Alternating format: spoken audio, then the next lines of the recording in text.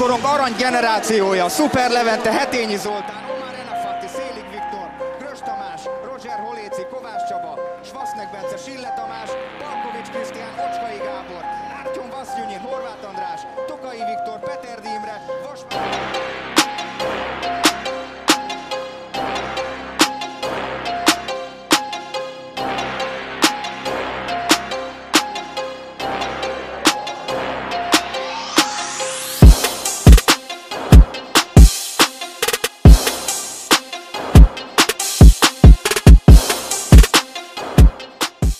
Szuper Levente világbajnoki győztes egykori jégkoron kapus az első olyan magyar játékos volt, akit az NHL csapat szerződtetett. A családjában nagy hagyományai vannak a sportnak, a szüleivel együtt pedig közösen jártak szurkolni kedvenc csapatuknak. A kis Levente 5 éves korában kezdett el jégkorongozni, tehetsége hamar megmutatkozott, hiszen 6 évesen már a Fradiban ütötte a pakkot. 1997-ben felnőtt bajnoki címet szerzett, majd kiérdemelte az évi jégkorongozója díjat is.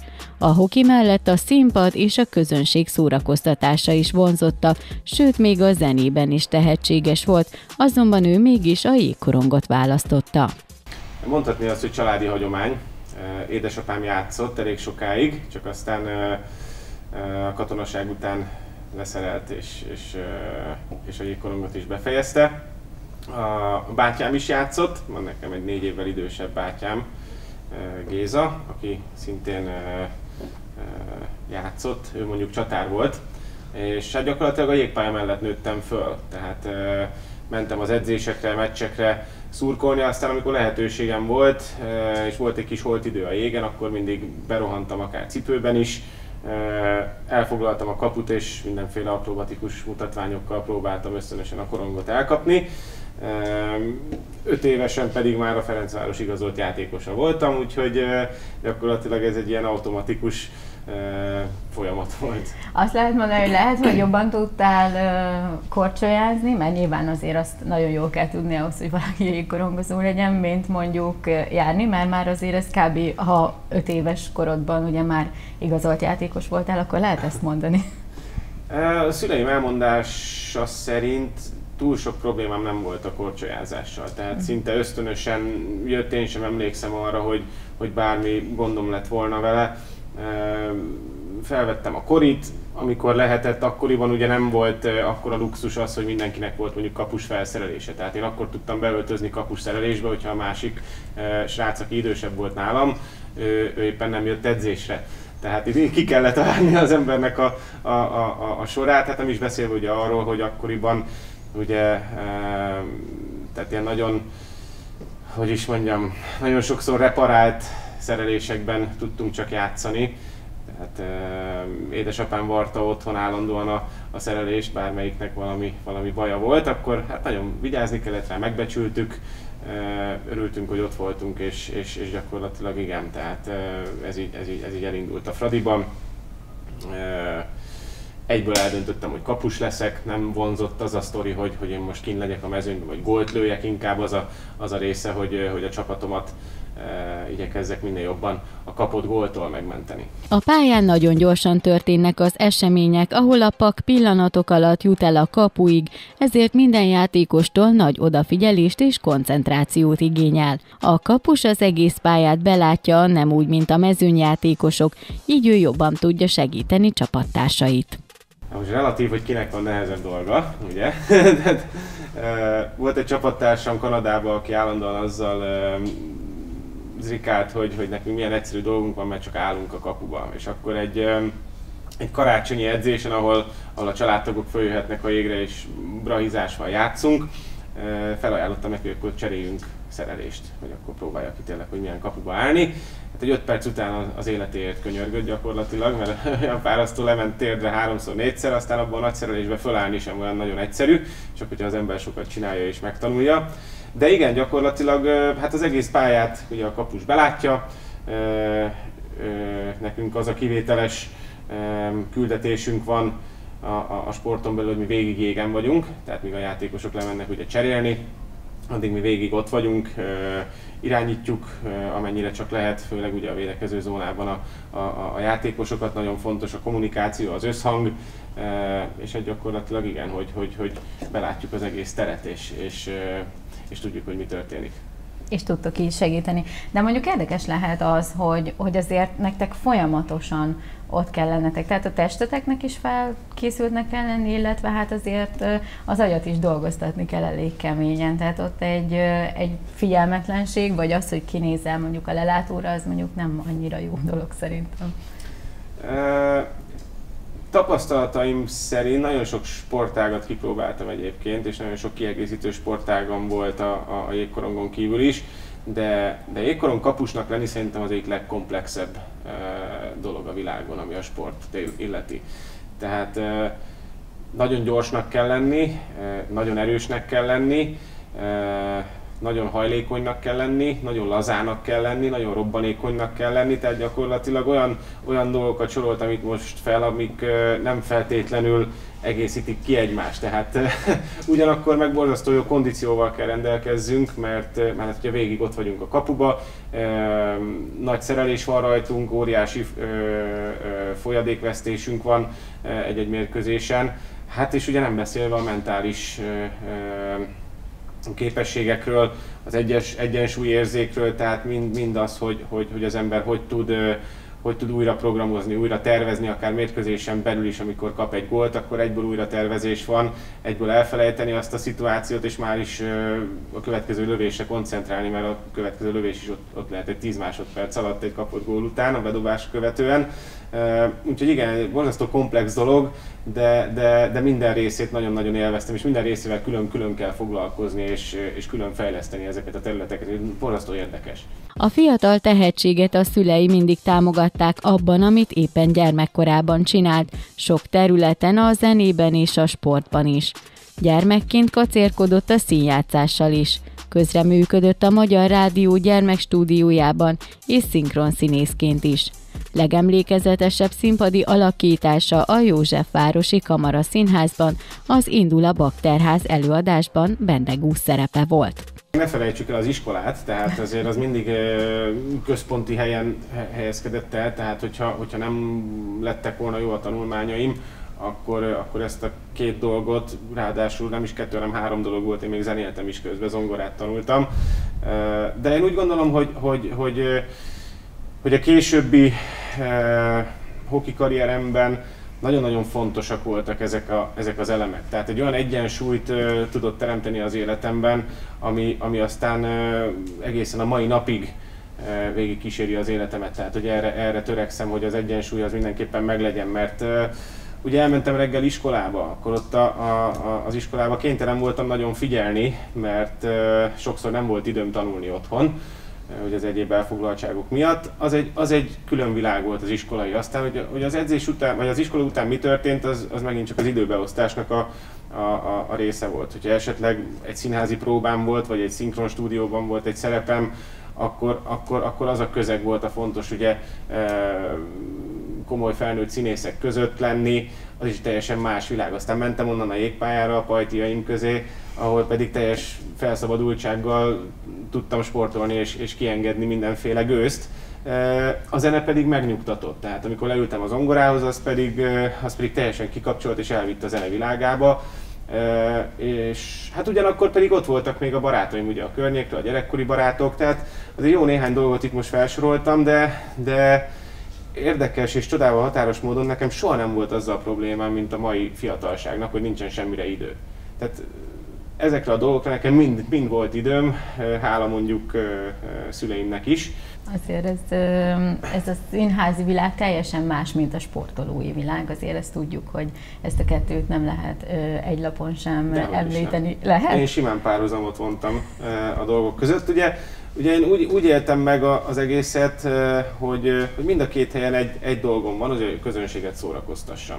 És ha befejeződik az előadás, vagy befejeződik a mérkőzés, akkor a közönség az, az, az úgy menjen haza, hogy, hogy szívesen megnézne mondjuk még egyszer, vagy szívesen jönne megint drukkolni a meccsre, tapsolni nekem, vagy szívesen megnézni még egyszer az induló bakterházat, mert, mert annyira tetszett neki. Tehát egy szórakoztatás mind a kettő gyakorlatilag és, és én simán párhuzamot tudtam, tudtam hozni. Nekem, nekem, nekem a jégpálya az is egy színpad volt, a színpad is egy jégpálya. Igazából ezt, ezt, ezt tudtam, így, így tudtam fölfogni ezt a, ezt a szép, szép kalandot, mert mind a kettő nagyon, nagyon szépen kiegészítette egymást, de a közönségről szólt. Szuper Levente 17 éves koráig zenélt, hokizott és színészkedett párhuzamosan. Szerette volna kipróbálni magát külföldön, Németországban viszonylag hamar adódott is egy lehetősége, ahová egy klubhoz szerződött. Igazából innen indult az ifjú tehetség karrierje. 1998-ban a junior Ottawa együtteséhez ment az észak-amerikai kontinensre, ami egy szép és küzdelmes időszak volt az életében. Kimenni könnyű volt, és 17 évesen először Németországba voltam egy évet, onnan, onnan sikerült aztán egy év múlva Kanadába menni, de ez is érdekes volt, mert az első néhány év az, az, az nem volt azért olyan nagyon nehéz. Gyorsan elment, tudtam, hogy mit szeretnék, egy, egy, egy gyerekkori álmot szerettem volna megvalósítani.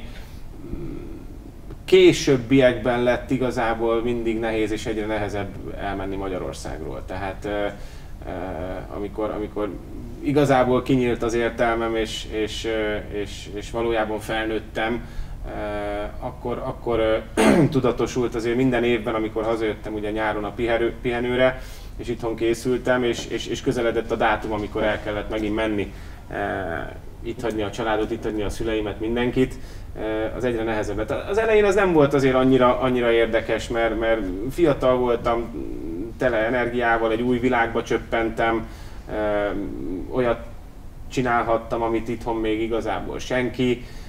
Ez mind-mind olyan kihívás volt, hogy, hogy, hogy vitt előre a lendület meg az energia. Aztán amikor, amikor mondom, megvilágosodott minden bennem, hogy igazából miről is szól és mit is csinálok, hát még most is, pedig már jó régóta visszavonultam, tehát most tudatosulnak bennem azok a dolgok is, amiről beszéltünk, ugye, hogy gyerekként, ugye most már saját gyerekeimen tapasztalom, hogy, hogy, hogy úristen, tehát ez, a, ez az életforma, amit én csináltam, az azért nem való mindenkinek. Kikerülni Kanadába pedig az egy, az egy teljesen más világ volt, ugye akkor nem volt még nem volt még videóchat, nem volt még skype-olás, gyakorlatilag a, az internet nagyon a, a gyerekkorát élte még Kanadában is, tehát a, a telefonon tárcsázós internet, ugye a, a, a feleségem, akivel már akkor egy párt alkottunk 20 éve, gyakorlatilag kézzel írott leveleket írtunk egymásnak, ami két hét múlva megérkezett a, a, a címre, addigra pedig a, a, az abban leírtak már nem voltak aktuálisok. Tehát ezek nagyon vicces dolgok voltak, heti egyszer tudtam a szüleimmel beszélni, ugye nagyon drága volt a, a távolsági hívás, de ezeket a, a pillanatokat mind-mind várta az ember tehát teljesen, teljesen más világ volt. És amikor kikerültem Ottavába, akkor sem az volt, hogy felmentem a Google-re, és akkor kattintottam hármat, és mindent megtudtam a városról, hanem egy teljesen ismeretlen világba e, csöppentem igazából bele. Annyit tudtam, amit a könyvekből, vagy a földrajzkönyvből, lexikonokból, hogy, hogy, hogy Kanada, Ottawa, hát milyen lehet.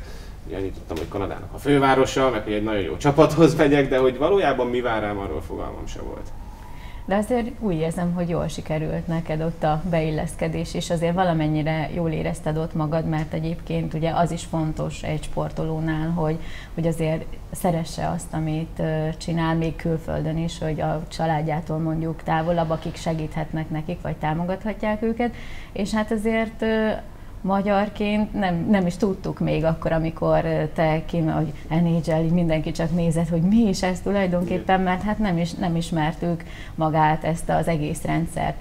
De neked azért ez sikerült, és nagyon jól el is sajátítottad odakint a, hát azt a tudást, amit mondjuk Magyarországon nem tudtál volna megszerezni. Belecsöppentem egy olyan világba, amiről én gyakorlatilag gyerekkorom óta álmodtam, hogy, hogy belecsöppenjek. Tehát a gyerekkorom úgy, úgy úgy zajlott, hogy, hogy, hogy én nagyon komoly terveket szövögettem már 5-6 évesen, hogy én ezt szeretném csinálni, én Kanadába szeretnék majd egyszer játszani. Édesapámmal néztünk egy, egy világbajnoki döntőt, 5-6 éves lehettem, a tévében néztük, és kérdeztem, hogy ki játszik, és akkor mondta édesapám, hogy Kanada, az ellenfél nem volt érdekes, mert aztán ugye elkezdtünk beszélgetni, megtudtam, hogy Kanada a világ legjobbja a hokiba, én meg akkor ott kijelentettem, hogy én szeretnék egyszer majd Kanadába játszani Ugyanez, ugyanez megtörtént hasonló sztori, hogy, hogy a kedvenc futballcsapatom a Milán, és ez is 5-6 éves lehet, lehettem, amikor néztünk BL döntőt talán, és akkor, akkor ott megszerettem a Milánt. És, és akkor azóta is egyébként? Azóta is, igen. És, és érdekes volt, hogy, hogy hogy akkor, akkor kisgyerekként arra gondoltam, hogy milyen szerencsés lehet az, aki, aki, aki minden héten elmehet mondjuk Milán meccsre, talán kétszer is, ugye szerdán BL-t játszik, hétvégén bajnokit, és, és, és úgy felnevettem, amikor, amikor a 2000-es évek közepén kaptam egy ajánlatot Milánóból, hogy, hogy játszam ott, és, és, és, és olyankor az ember elgondolkozik azon, hogy, hogy, hogy, hogy miket mondott, a, a, a szavaknak súlya van.